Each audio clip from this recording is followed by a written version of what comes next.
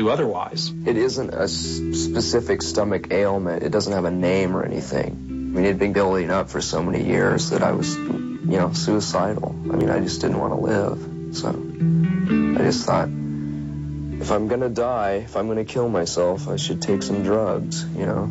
May as well become a junkie because I felt like a junkie every day.